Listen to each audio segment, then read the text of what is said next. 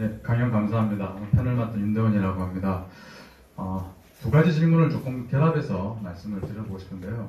아까 생명윤리법에서도 우리가 유전자 치료라는 말이 있고 오늘 강의 내용도 보면 부정적인 부분들이나 질병으로부터 어떻게 이 유전자 기술을 활용할 것인가 여기서 이제 집중을 하다 보면 점차적으로 그런 활용에 대해서는 윤리적인 합의도 도출이 쉽거든요. 근데 연구 동향상 개량을 하기 위한 유전자 기술이 참 궁금합니다. 그래서 이런 질병 치료나 이런 것이 아니고 좀 적극적인 의미에서 그 개량을 위한 유전자 기술은 어느 정도로 지금 진척되어 있고 연구 동향은 어떠한지 그리고 이것이 어떤 거와 연결될 수 있냐면 아까 그 시장 실패론을 말씀하셨는데 시장 실패론의 가장 큰 원인은 치료는 분명히 희귀병 환자들이 많기 때문에 존재하는데 공급에 대해서 불확실하기 때문에 부분이 개입해야 되는 경우가 생기거든요. 그러려면 중요한 전제가 공급을 하기 위해서는 유전자 기술 전문가들이 그 유전자 기술의 인해 추출한 DNA라든지 이런 것들을 어, 시장에 내어놓을 수 있어야 되고 통용이 돼야 되고 유통이 돼야 되거든요. 그런 거와 관련된 어떤 연구 동향이나 실제로 은밀하게라도 이루어질 수 있는 그런 통용이나 유통 사례가 있는지 그걸 좀 결합해서 말씀해 주시면 감사하겠습니다. 어, 질문이 제가 학교 다닐 연구소에서 질문한 수준보다 굉장히 높으신 질문을 하시는데요. 첫 번째 그 대량에 대한 질문을 하셨는데 사실은 어, 이런 것이 있습니다. 그 질환이 명확히 누가 봐도 질환인 것이 있고 또 이것이 질환인지 계량인지 애매한 것이 사실은 있어요. 그런 것이 있거든요. 이제 그리고 또 양쪽 간에는 이건 누가 봐도 이제 계량인 것이 있고 사실은 지금은 어, 누가 봐도 질환인 것도 금하고 있습니다. 우리나라는 네. 그렇기 때문에 거의 뭐 논의 자체가 안 되고 있지만 어느 시점에는 이제 질환만큼 이제, 이제 허용해줄 시대가 올 거고요. 실제 현재 국회에서 그 부분 질환에 대해서는 우리가 유전 자체를 허용해 주겠다는 움직임이 사실은 있어요. 그걸 요새 계속 발의하려고 국회의원들이 막그 전문가들 의견도 들어보고 하고 있습니다. 그래서 결국은 누가 봐도 이 질환인 것들에 대해서는 아마 어, 규제가 우리나라는 풀릴 것 같아요. 그러다 보면 이게 질환인지 애매한 상황까지는 이제 또 있잖아요. 이것이 허용이 되다 보면 그 다음부터는 이제 점점 점점 대량까지도 갈 수 있는 우려가 있는데 사실 요 애매한 상황이 어떤 거냐를 어떻게 규정하느냐가 이제 사실 문제가 있는 거죠.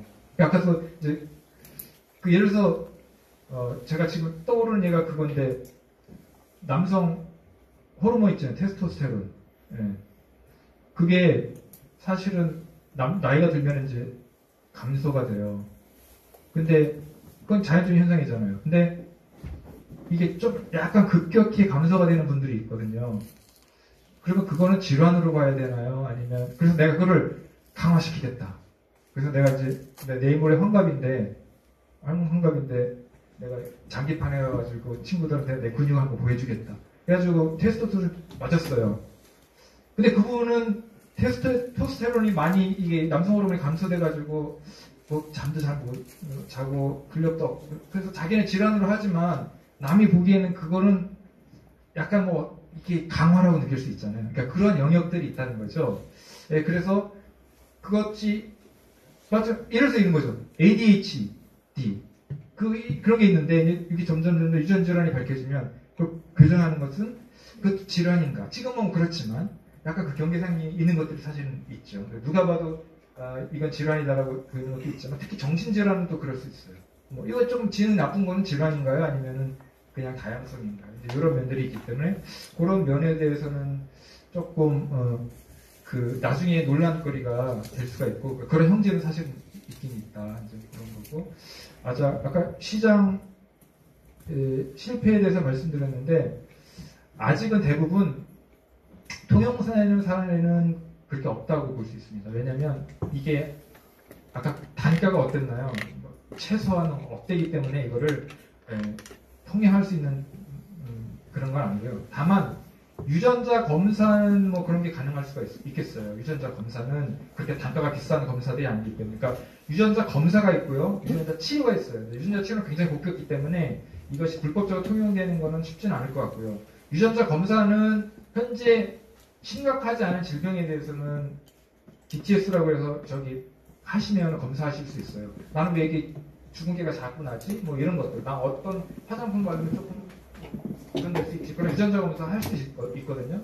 심각한 질환은 아직도 금하고 있어요. 근데 그런 것들도 사실은 할 수는 있긴 있죠. 근데 우리나라는 그런 거에 대해서 조금 굉장히 엄격한 그런 단계고 또 사실은 아직 우리나라 국민들의 일반 국민들의 유전자적 이 식견 자체가 그렇게 높진 않아요. 예. 그래서 그것이 내 불법적으로 뭐 해야겠다는 그런 수요는 아직 없는 상태라고 생각이 듭니다. 그래서 그게 아직 그렇지는 않- 않고요. 다만 국가적으로 이걸 제도화시켜서 양성 풀어줘서 좀 산업적으로 좀 부응하려는 그런 고민들은 지금 갖추고 있, 습니다 그러면 그럴수록 양성화될수록 가격도 싸지고 음성화될 수 있는 것도 많고 뭐 그렇게 않을까.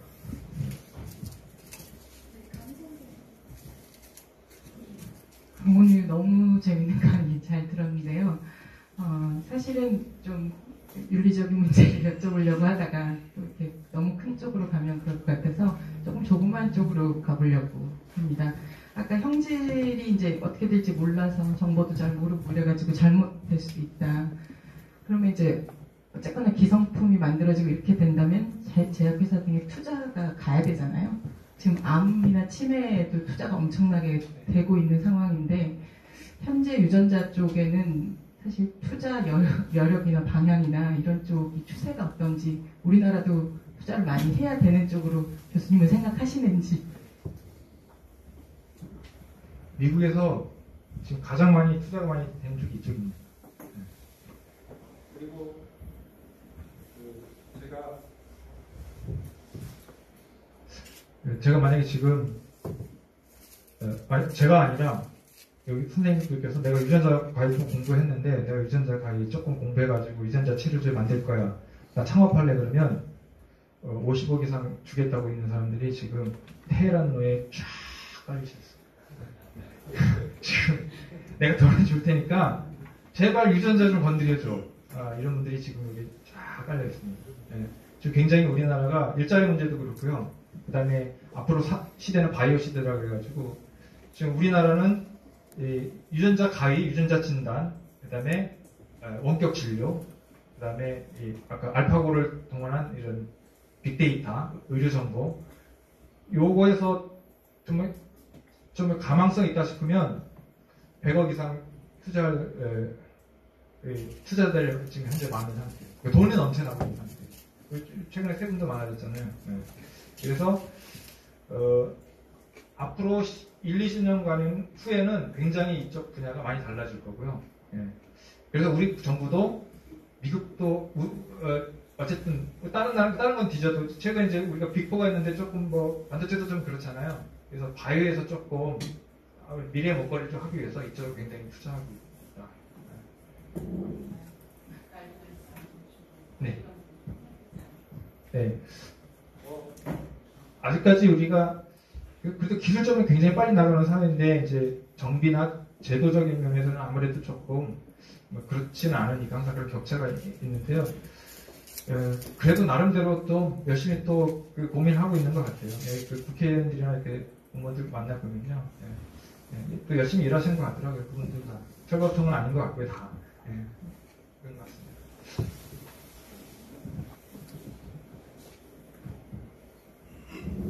어, 일단 그 쉽고 이해하기 쉬운 강의 감사드리고요. 저는 그 정지용 학생이고 저는 지금 그 기초과학연구원에서 나노물질 쪽으로 하는 그 과학자고요.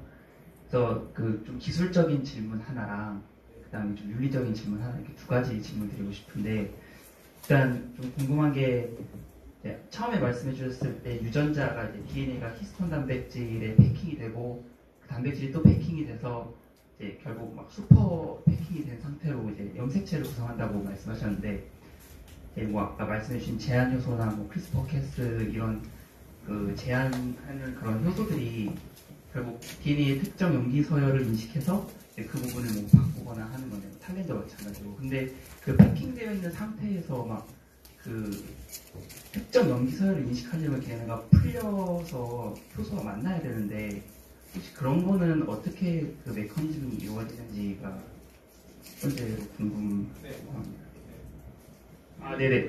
네네. 그리고 이제 두 번째 질문은 그 이제 지안콰이 그 중국 맞춤형 아기 그분이 이제 정말 예고도 없이 이제 그때 학회에서 이제 뭐 논문도 안 쓰시고 유튜브로 이제 그걸 공개를 하셨는데 아 학회에서 공개를 하고 이제 정말 논란이 커지니까 제가 유튜브 채널을 개설해서 이렇게 공개를 했더라고요.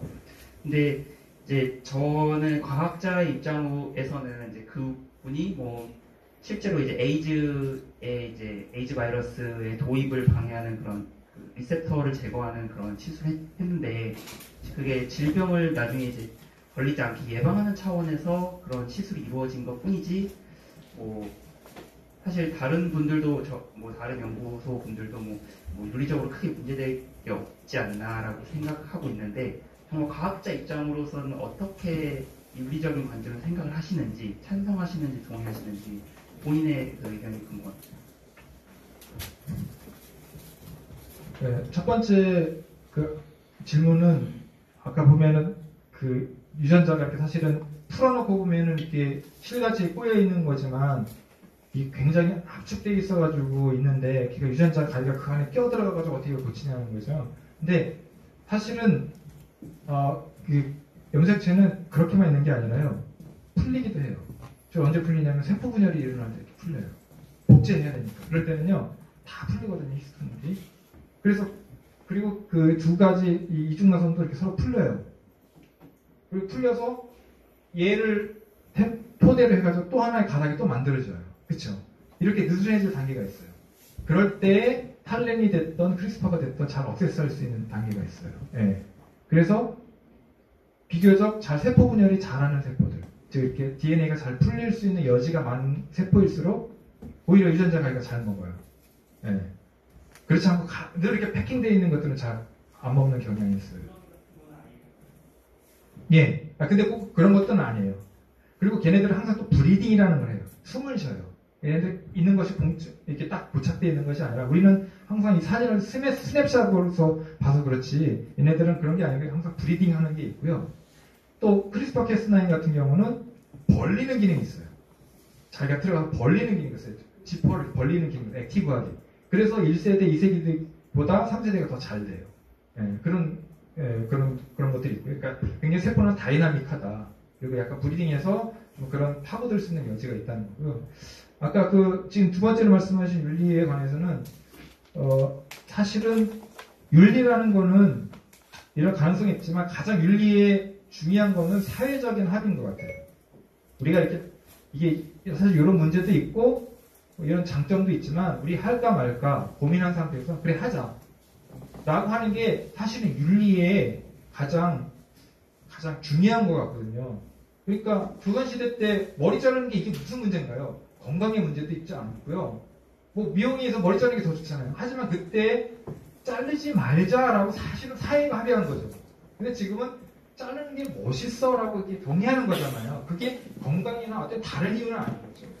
그러니까 거기서 그, 그 중국 허생푸이가 그걸 만들었던 것에 가장 결격 사유는 뭐냐면 우리가 하자라고 동의하지 않은 상태에서 자기가 너무 강행을 하는 거죠. 이게 조금 더 우리가 더 할까 말까 고민된 그리고 논의된 상태에서 했으면 좀 지지층이 많았을 거예요. 사실 기술적인 문제는 떠나. 그러니까 아직은 우리가 이것에 대해서 사실은 유전자 가입 뭔지도 모르는 사람들이 지금 전 지구상의 90%가 넘는 상황에서 해버렸단 말이에요. 이게 뭐야? 조금 더 이것도 고민하고 한 했으면 어떨까 이런 생각 사실 있는데 그럼 그게 5년이 걸지 10년이 걸지 몰라요. 오히려 이게 윤리적인 걸 또 촉발할 수 있는 기회가 될 수도 있거든요. 그러니까 이거를 저도 다적으로 말할 수는 없어요. 그리고 이분이 지금 지금은 좀 이런 표현을 했지만 나쁜 놈이 됐지만 그 아기가 태어나서 건강히 자라서 애기를 태어났는데 멀쩡해. 그리고 그 아기도 에이즈 안 걸려. 그러면은 인류는 조금 더 그 사람에 대해서 그때 대해서 다른 평가를 해주지 않을까. 지금은 욕먹지만 한 30년 후에 그런 생각도 좀 갖고 있습니다. 하지만 아까 말했지만 윤리적인 거는 시대를 반영하는 거기 때문에 그 사람이 욕먹는 거죠. 네.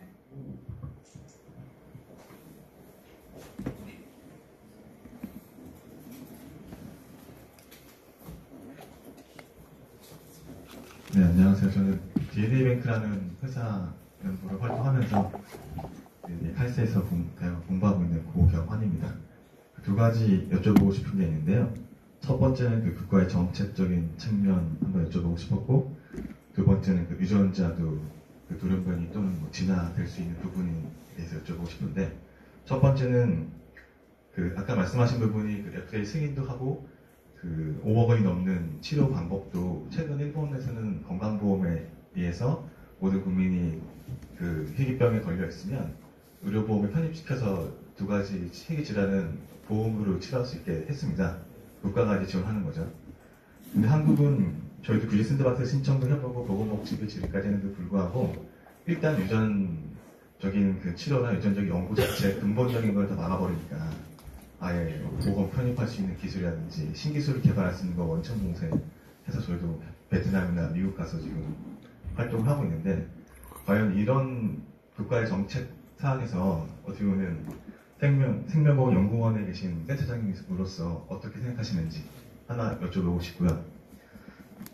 좀 시대에 뒤떨어진 거 아닌가 생각이 들고 두 번째는 사실은 유전자가 그 변화한다는 게 그 돌연변이를 일으킬 수 있, 지만 그게 진화의 동력이 될 수 있고 종교적인 이슈가 있겠지만 진화의 동력, 생물학적으로는 진화의 동력이 될 수 있고 이게 바로 유전자 그 질병을 원인이 될 수 있는 부분인데 설사 저희가 그 지금 현상에서 가장 좋은 치료법으로 치료를 했다 하더라도 또 진화해서 그게 또 다른 병을 또 일으킬 수 있, 다고 하는 게 최근 최근 3년 정도 논문이 이제 유전자도 태어날 때 유전자가 나중에 죽, 죽을 때는 바뀔 수 있다는 논문이 이제 최근에 나오고 있지 않습니까?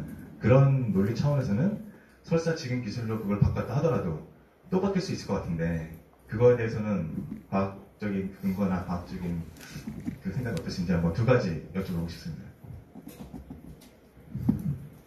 그첫 번째 그 질문에 관해서는 아까 말씀드렸던 5억 원짜리 그러니까 피를 뽑아가지고 이 카라는 유전자를 넣어가지고 이제 백혈병 치료하는 그 약이 이제 5억, 미국에서 5억인데 뭐 일본도 마찬가지 보험을 해주기로 했어요. 어, 일본은 조금 우리나라보다 돈이 많잖아요. 제가 만약 이제 문, 문재인 대통령 다음에 이제 제가 대통령이 되면 여러분 이제 표를 찍어주시면 되잖아요. 제가 되면 이제 해줄까 말까 이제 제 고민하겠죠. 아. 근데 아까 뭐 저는 다 해드리고 싶어요. 근데 사실은 이제 대통령 제 입장에서 아까 고셔병만 단일 질환 80분밖에 안 계시는데 우리나라 80분. 160억이 든단 말이죠. 자, 근데 이거 5억인데 암 환자는 몇, 몇 분인가요? 제일 사망 원인이 암, 암 환자예요. 그러니까 뭐 수만 명 이렇게 돌아가신단 말이죠. 자, 그 수만 명이 나 다 저거 맞을래. 그쵸? 카티라는 약인데, 카티 맞을래. 그러면 천문학 조 단위가 넘어가겠죠. 그럼 보험을 해주겠다. 그러면은 사실은 이거는 내가 결정하는 문제는 아닌 거죠. 그러니까 어, 국가적으로 그러니까 약간 뭐 이런 것들을 정책적으로만 바라보거나 어쨌든 국가의 수준에서만 바라볼 게 아니라 사회 경제적인 의미 이렇게 해줬을 때에 편익이 나올 것인가 그리고 우리가 그것을 우리의 의료보험 체계로 감당할 수 있을 것인가의 문제가 있거든요. 물론 해주면은 암 환자가 잘 살아나요. 그러면 우리는 그걸 희는 거죠. 그런 것 속에서 우리가 충분히 이것도 마찬가지로 합의를 해야 돼요. 어떤 합의가 이루어져야 되느냐? 자, 그러면 우리 감기 걸린 거는 난더 이상 보험 안 될까? 축구하다가 다리 부러진 거 나는 안 해줄게. 왜? 정말 중요한 이 암 환자들한테 써야 되니까. 이런 거 다 해주다 보면 해줄 수가 없잖아요. 그러니까 취사 선택이 사실은 필요한 거예요. 물론 우리가 진짜 돈이 많아가지고 막, 뭐 땅만 패면 막 시외가스 막 나오면 문제 안 되겠죠. 하지만 우리 좁은 땅속에서 세금으로 가는 의료보험 체계상에서 다 해주기 쉽지는 않을 것 같고요. 정말 그걸 해주겠다 그러면 무언가 현재 포기해야 되는 상황이 올 것 같고요. 그러면 이제 정말로 그- 이 사람들의 이제 그 사실 동의가 필요한 부분이죠. 근데 이제 기술은 발전하고 있기 때문에 지금 유전자는 환자가 좀다할수 있잖아요. 허브해 줄 수 있잖아요. 그럼 이제 의료보험이 무지막지하게 듭니다. 그러니까 국가적으로도 사실은 동전의 양면이 있어요. 이게 경쟁력을 위해서는 해줘야 되는데 해주고 나서 보험 체계로 들어올 때는 이 부담을 어떻게 할 것이냐는 약간의 그 약간 좀 다른 문제가 사실 있긴 있는 거예요. 부분에서는 두 가지 이슈가 있어요. 취업법의 허가 인사, 그 다음에 이제 의료보험 편입 여부는 취업보험 법칙에서 아예 허가 치료 자체에 이미 연구를 못하게 아니 기술이 진공성이 떨어지게 되고자는 그리고 일본처럼 보면 편입시키면 만드는 사람 입장에서는 이게 보호책이면은 연령이 설정하지 않는데 만약에 이게 뭐 500명이 되면 좀 더 많은 사람이 쓸 수 있으니 더 개발에 같이 갈수 있거든요. 네, 네. 국가가 어떤 모르겠는데 네, 네, 네. 그러면 좀 더 수용도 법칙에 대해서 더 뒤처지기 때문에 네, 네. 그러면 이게 만약에 10년, 20년 뒤에 신기술이라는 먹거리를 말씀하셨는데 네, 네. 아니면 먹거리를 하지만 실제 제도나 실제 필드에서는 다 미국이나 유럽이나 저기 일본의 기술자들은 뺏고 있는 네. 거예요. 더 비싼 파워야 돼요. 네, 맞습니다. 반도체랑 이게 뭐 기초소처럼 원천 기술을 다 해외에 있고 우리는 그냥 만들어서 유통만 하는 것도 안 되는데 그래서 그 말씀을는 제가 평상시에 갖고 있는 생각인데 네. 그런 얘기를 하면은 또 이제 예, 자기 발표 생긴다고 말할까봐 사실 그렇게 못하는 거고요. 어, 어떤 부분에서는 그 되게 선생님 말씀이 맞아요. 그 이, 이 부분은 좀 빨리 약간 물리, 물리 좋아. 근데 이게 그렇게 심각한 문제 아니면 조금 다른 나라도 하고 있으니 우리가 좀 선제적으로 하면은 조금 더 치고 나가서 잘할 수 있을 텐데 왜 공무원들은 다 눈치를 볼까? 왜 선진국의 사례를 끝까지 끝까지 봐야 되고 반습에도 불구하고 또 여전히 고민해야 되고 또 뭐 그런 게 있을까 그런 생각을 하고 있습니다. 근데 뭐, 에, 뭐 나중 또 어떻게 보면 신증이고요. 네, 뭐, 예. 또 근데 하나는 조금 선제적으로 해야겠다는 어, 좀 시대적인 요청들을 느끼시고는 계신 거예요. 이런 의식조차 없으시지는 않은 것 같아요. 네. 어, 굉장히 그 논란의 여지가 많은 부분에 대해서 사실은 경제적 효과가 따로 판단해서 자꾸 의협이라든지 그런 투명에 관련된 쪽으로 가고 있지 않습니까? 하지만 우리가 조금만 많이 생각하면 이런 기술을 이용해서 우리가 도저히 해결할 수 없는 예를 들어서 미세먼지 문제라든지 또는 수소 경제로 가는데 예를 들자면 방합선 프로세스를 약간만 변형시키면 수소를 생산하는 아주 비싸게 최신 방법들을 만들 수 있을 것 같아요. 네. 그 다음에 또 바이오시밀러 같은 거 하려면은 사실은 굉장히 효과적으로 생산할 수 있는 기술 같은 것들을 해야 되고 그러니까 유해물지만 사람이 먹지 않는 또 그 다음에 이산화탄소 예를 들자면은 담배 같은 것들이 방합성 효율이 굉장히 좋은데 그런 진들을 뭐 일반 다른 진 또는 고기 선악에서 잘할 수 있는 진 이런 걸로 바꾸고 이런 쪽에는 연구가 진행이 안 돼요. 이거만큼 진행이 되고 있습니다. 네. 근데, 근데 그 부분은 제가 오늘 제목이 하고 좀 빗나가서 한데 사실은 뭐 그런 것 같아요. 이 철학자가 더 똑똑한가요? 아니면 공학자가 똑똑한가요? 플라톤이 똑똑한가요? 아인슈타인이 똑똑 저는 다 똑같다고 봅니다. 똑같은 진호요. 어떤 분은 이렇게, 어떤 분은 화장품 개발하는데 똑같이요. 똑같은 에너지가 지금 말씀하신 부분 미생물, 식물, 동물 다 발전하고 있어요. 네. 그래서 다만 이제 이 지금 오늘 말씀드린 사람에 대해서는 되게 물리적인 문제가 있죠. 있고요. 그게 또더 직접적인 문제가 있으니까 포커스를 여기다 놓쳤죠. 사실은 그걸 갖추면은 굉장히 큰 에, 규모와 돈과 이런 것들 거기에 에너지가 굉장히 많이 가 있습니다. 그 식물도 앞으로 유- 유전자들이 많이 바뀌어진 이 유전자 가요. 그런 식물들이 많이 수확이 올 거예요.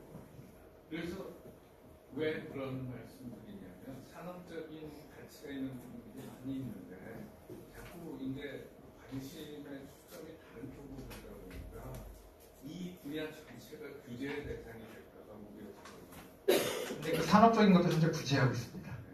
우리나라는 그것도 규제하고 있습니다. 네. 그래서 조금 좀 엄격하다고. 한 짤막하게 네. 그럼 한국에서 가- 유전자가 아니고 할수 있는 일은 동물 실험밖에 없나요?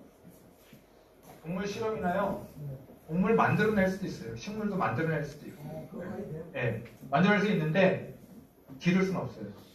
아, 밭에다 기를 수는 없어요. 실험 시간만 갖고 있어. 아니 아시잖아요. 우리 GMO 다 드시죠? 캐놀라유 다 해가지고 후라이 만드시고 다점 붙여 먹으시잖아요. 근데 밭에다 캐놀라 기를 수 없어요. 네. 약간 좀 우리나라 약간 좀 그런 거죠. 그러니까 먹지만 기를 수는 없어요. 네, 만들 수는 있지만 기를 수는 없어요. 네. 아, 두 번째 또 뭐였지? 유전자도 네. 그런 분이 있는 것처럼 네. 네. 네. 고쳐한테 또 음, 이상한 그런 기만 그 지인. 아, 뭐 그럴 수는 있죠. 네. 유전자 어, 그러면 또 바꾸면 되겠죠. 네. 그래서 근데 어, 사람 우리가 생각보다 그렇게 쉽게 유전 변이가 이렇게 네, 생기는 것 같지는 않아요. 네. 네, 자주 생기는 것 같지 않고요. 변이가 있으면 우리나라 아 우리 몸은 다시 잘못됐으면은 proofreading 그러니까 다시 교정할 수 있는 원래 능력이 있어요. 그렇기 때문에 조선 사람이나 지금 우리나라 사람 보면은 별 차이 없을 거예요. 네, 다시 까먹고 보면은 네, 100년 후에도 차이가 그렇게 많지는 않을 겁니다. 그런 게 뭐 문화적이나 이런 어떤 의식의 차이지 사실 DNA는 놓고 그렇게 차이가 없고요. 그 미라 보면은 보면은 이게 다 나오잖아요. 네. 그러니까 지금 말씀하신 것처럼 그런 큰 변화는 막 어, 시, 어, 몇십억 년이 지나야 될 거고요. 뭐 그때는 더 손쉽게 만약에 정말 그게 필요하다면 손쉽게 바꿀 수 있는 그런 시대가 오, 오지 않을까.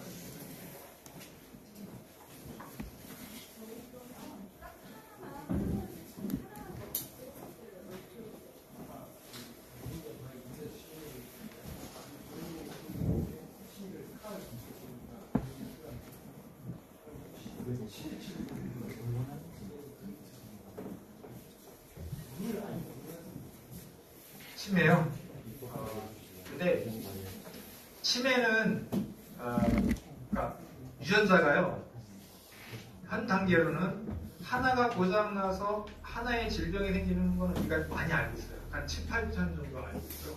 대부분 암세포는 중요한 하나 생기고 두세 개 더 생기면 암세포가 많이 생기는데 치매는 현재 단계로는 이게 10개의 유전자가 망가진 건지 100개가 망가진 건지 대머리조차도 이게 몇 개 가 지금 사실은 좀 달라가지고 이게 대머리가 좀 되는 건지 예, 뭐 이런 것들은 사실은 시간이 좀 지나면 알 수는 있겠지만 아직까지는 몰라요. 그러니까 이게 아마 하나의 형질, 형질, 형질이라는 거 아시죠? 돋보기하고 좀 다른 것들은 눈 같은 건 아까 하나가 차이가 있었지만 우리가 좀 따지게 보면 뭐 내가 좀 주름이 많은 거, 뭐 눈이 좀 큰 거 이런 거는 몇 개 유전자가 사실 관련된 건지 다시 알 수가 없고요.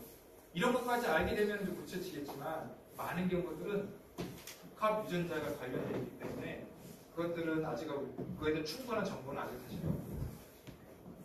그러니까 사실은 고칠 수는 있는데 유전자가 어떻게 해야지만 고쳐지는지에 대한 정보는 사실은 그렇게 많지는 않아요.